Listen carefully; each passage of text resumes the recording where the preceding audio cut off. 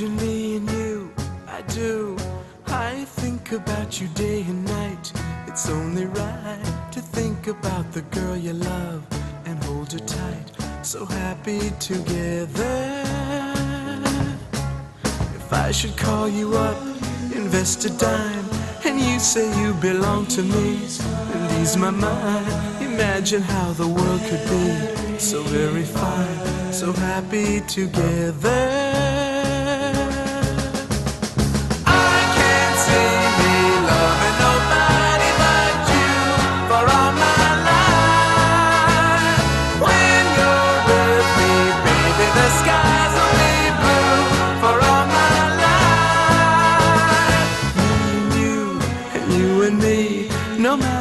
They tossed the dice, it had to be.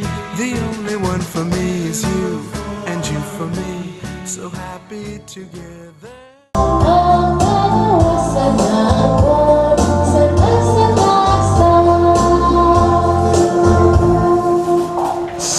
Sa ngalan sa sa kanak sa Espiritu Santo, Amen. ang Ginoo yara sa inyo. Kaya naman say, Kini ko pa Hindi ka nagapundar para sa henerasyon na nagapulos sa aton. Nagatipon kita dire, agod bayran ang henerasyon nga magapulos sa aton. Agod nga makabilin kita sa negasiya, hindi lang sa aton pamilya, kundi sa mga henerasyon na ginabukusan sa lingwa ka barangay to be specific, pabulugan kag tabukan nga nagabunto sa sining pulutuan. Gani sa mga alumni, kag sa mga manunodlong nga nagahatag sa dako nga panahon ng pagsakripisyo para sa ning pulutuan, ikuhaan pa ginaton nga buligan sa grasya sa bahaga Dios ining aton Tomas Confessor Elementary School mangitisa sa gihapon halin sa una manginuwaran sa pagtinguhan not just in the development of intellectual capacity but also in the forming of values sa atong mga pamatanon at kung maging modelo man sa mga henerasyon na nagasunod.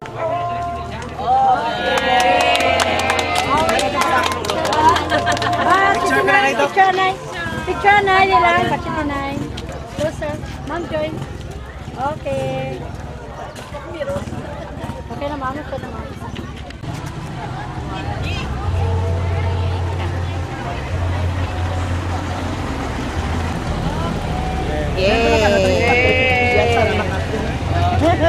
Picture na. Picture na. Tanan nga mga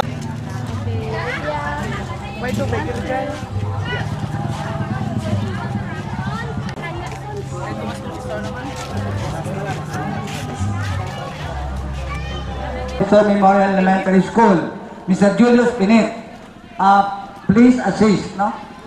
So siguro, sa tanga, kampatang Inyos Patrick, Dr. Alag and Julius Pinit, together with the other officers of the Alumni Association, the teachers of Tomas Professor Memorial Elementary School, please join the group in the cutting of the ceremonial ribbon.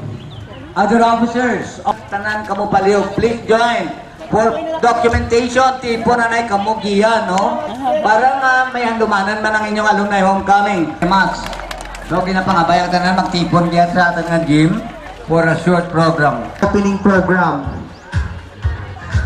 Again, yes, you are here because you remember your school with pride and gratefulness in your hearts for having made you the kind of individuals you have hoped you will become. Indeed, all of you have traveled far and wide in your quest to make better people of yourselves.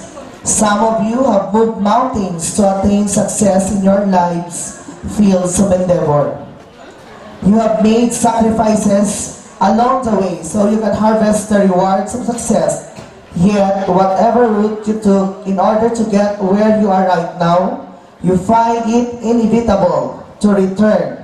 Return home, and that home is Tomas Confessor Memorial Elementary School. Certificate of appreciation is presented to the Confessor family in sincere and grateful recognition of their laudable concern given to T. Confessor Memorial Elementary School for the improvement and betterment of the school, manifested through their lot donation with, with lot number 705 and lot area of 5,666 square meters. given the 6th day of April 2015 during the second Grand Alumni Homecoming of T. Confessor Memorial Elementary School, District of Cabatuan 2.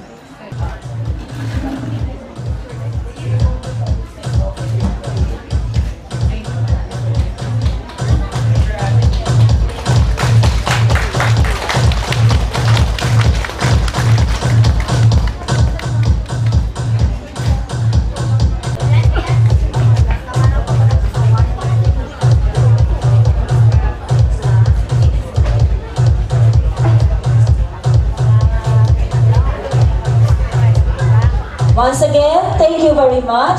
And uh, let's give a round of applause. Palakpakan ang ating mga retired teachers. Family of the late Eladio P. Alag.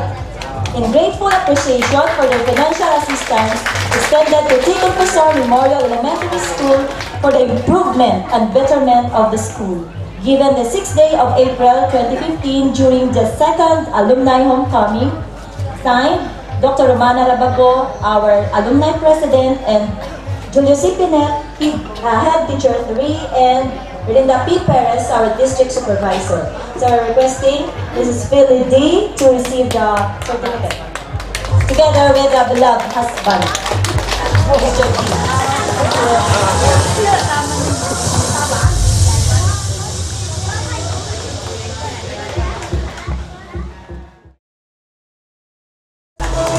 Set of uh, certificate para dyan sa mga nag-donate ng ating pader. Tabukan Barangay Council, calendar year, calendar year 2010 to 2016. Kap, Tawad. Tawad.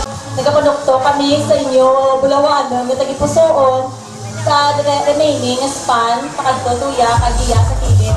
So, basi karon mag uh, istoryana, kita to karon basi mag-donate mo, just approach us. Thank you. And may I request Reverend Father Alphon Berdigal to please join. Makinablusan, nasa kaliting sa kakamo. So, ang kortina nga nagatabon kay ng Santa.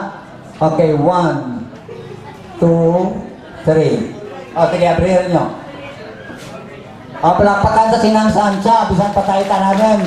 Kaya nag-alagad ka na kajadon na eskwelahan for 17 years nga tanan ang head teacher kang Tomas Confessor Memorial Primary School from 1961 to 1970. 13. 1, 2, 3. Palakpakan ka si late Anita M. Claveria. 1, 2, 3. Palakpakan ka si si Ma'am Sunny.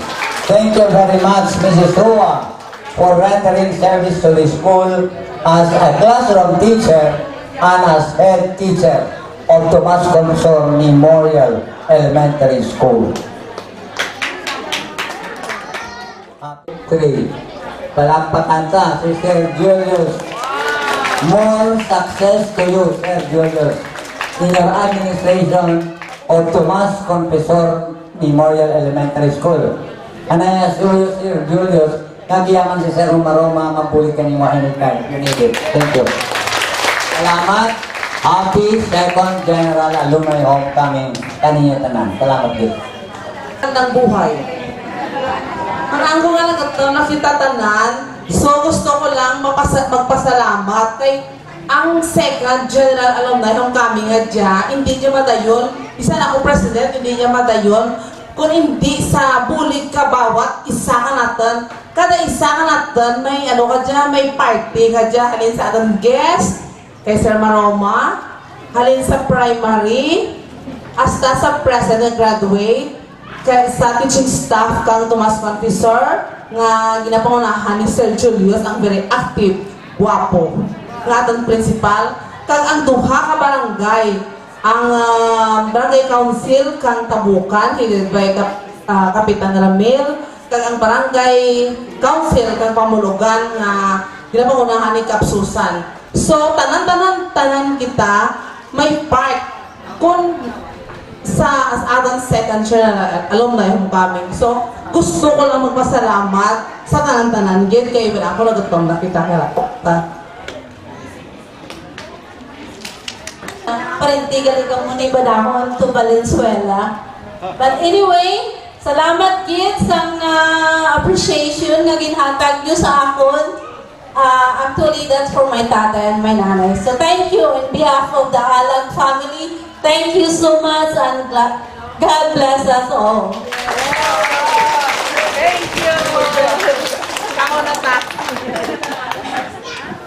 To have our grace before meals. Kaya amo dyan lahat ka na. Pero madamo man ang wala sing gana. May mga tao nga may gana o galing wala sing pagkaon. Ginoo, salamat kay kami iya may pagkaon kag may gana sa pagkaon. Kaya di ka pangayo kami sa mga bendisyon sa mga pagkaon. Yamon pagkakaunon, kabay maghatag ini sa amon sa pusog, kay kabakot sa amon hilikoton, kamapapalakon sa amon pag-ulugdanay sa sining kahiwatan. Ginaampo namon ini sa ngalan ni Kristo nga amon Ginoo. Sa ngalan sa Amay, sa Anak, sa Espiritu Santo. Amen. Agad-agad, noon lang ha. Reminders, ancholes, consumer.